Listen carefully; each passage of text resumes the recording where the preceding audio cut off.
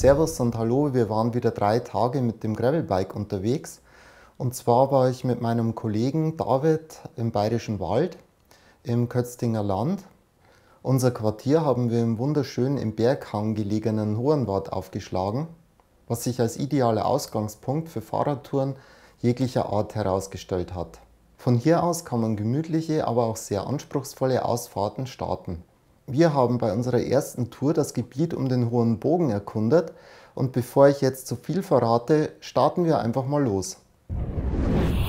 So, wir starten also heute jetzt in Hohenwart in Richtung Hoher Bogen. Das sind jetzt so 600 Höhenmeter am Stück. Hier ist der weiße Regen, der zusammen mit dem schwarzen Regen dann ein paar Kilometer weiter unten ähm, sich zum Regen zusammenschließt.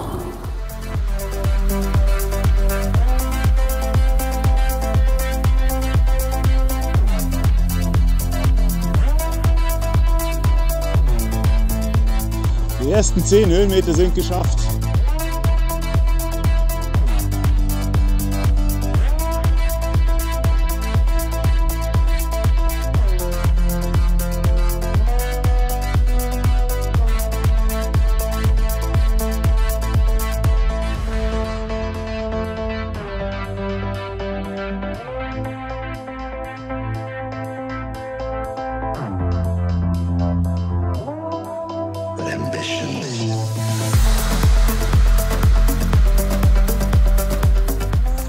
Hier sind wir jetzt auf einem astreinen Schotterweg.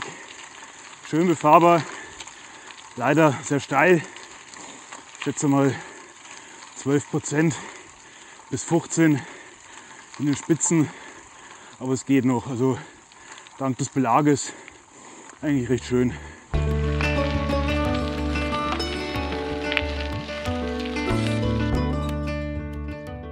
Aber Heiko, ich muss sagen, der Weg hier hoch ist echt schön. Sauberer, schöner Schotter.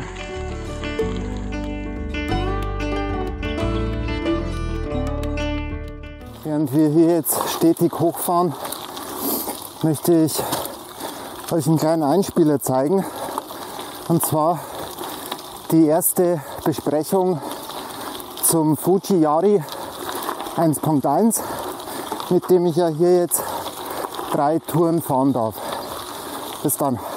Hier haben wir jetzt also das Yari 1.1 und ich betrachte das Rad jetzt erstmal augenscheinlich nach der ausgewählten Ausstattung und den verbauten Komponenten. Wir haben hier einen A6 SL Superbatted Alurahmen vor uns und was mir schon mal sehr gut gefällt, ist die oliv-hellgrüne Farbgebung. Der Rahmen wie auch die Lackierung wirkt äh, massiv und stabil.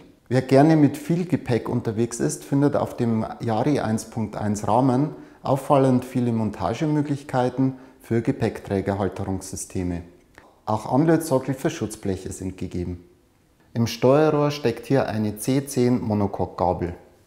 Als Schaltgruppe wurde mit Ausnahme der Kurbel, die Kurbel stammt aus dem Hause FSA, äh, auf Shimanos bewährte GRX-Gruppe gesetzt. Vom Übersetzungsstrang haben wir vorne 4832 und hinten eine 105er 11-fach Kassette in 3411. Der Laufradsatz kommt von Boondocks, bestückt mit WTBs TCS Leitbereifung mit grobem Profil und einer 42er Breite. Anbauteile wie Sattel, Sattelstütze und Vorbau stammen von Oval. Ebenso der Lenker, der mit seiner Flairkrümmung sehr breit und massiv wirkt. So, das war jetzt mal der erste Überblick zum Yari 1.1 und in der nächsten Folge berichte ich dann, wie sich das Bike im Gelände macht. Bevor jetzt, bevor jetzt der längste und steilste Teil kommt, haben wir hier nochmal so eine kleine Verschnaufpause drin, über ein paar Meter. Da heißt es nochmal ein bisschen Kräfte sammeln, weil jetzt geht es rein in den Hang.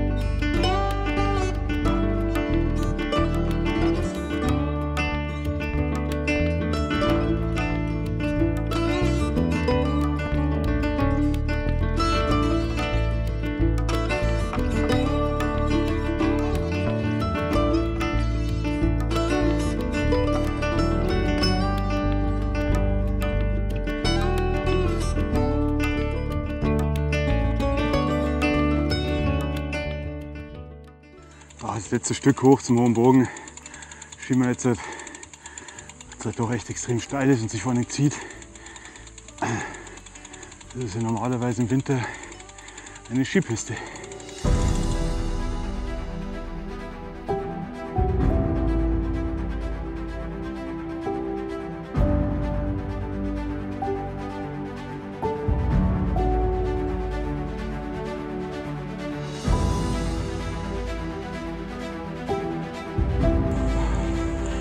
Sektor F.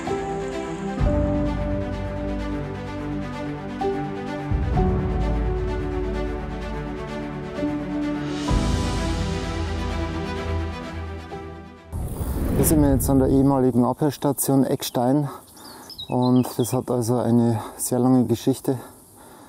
Ähm, das ist 1967 erbaut worden, 1975 in Betriebnahme und dann war es in verschiedenen, für verschiedene militärische Dienste im Einsatz als Abhörstation. 2012 haben sie dann mit dem Rückbau der Einsatzstellung angefangen.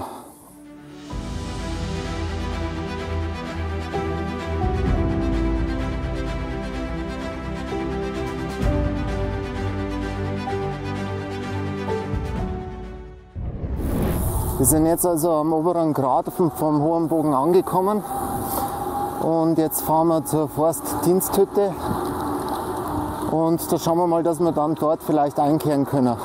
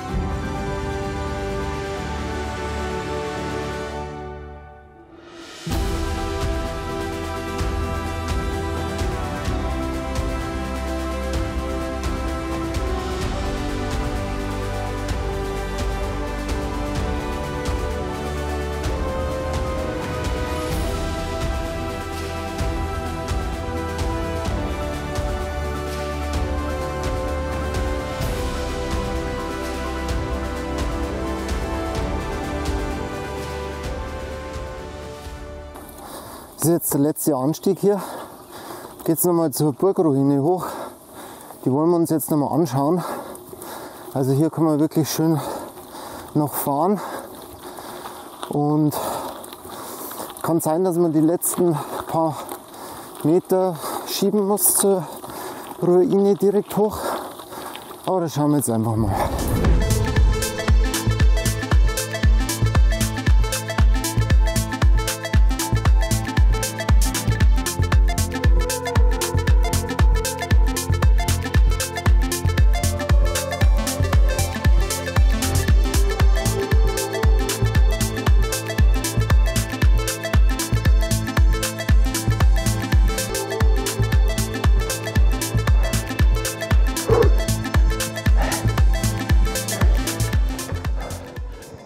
Hier sind die Festspiele.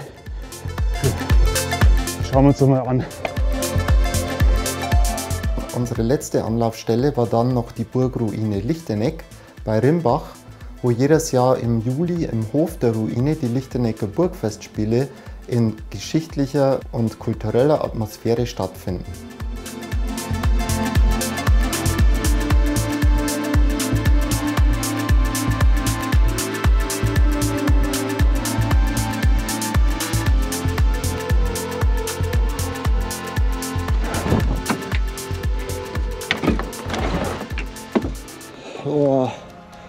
Geilomat. Alter, waren wir vorhin.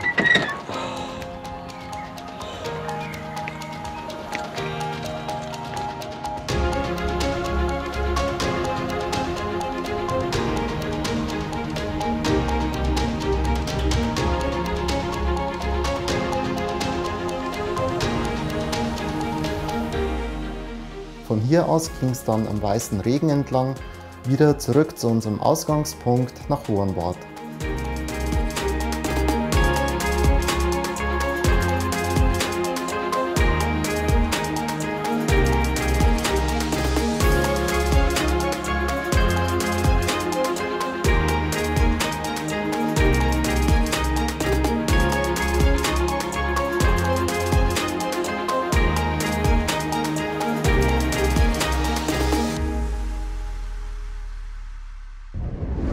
Das war jetzt also unsere erste Tour mit Ausgangspunkt Hohenwart und in der nächsten Folge nehmen wir uns dann den im Süden des Ortes gelegenen Keitersberg vor.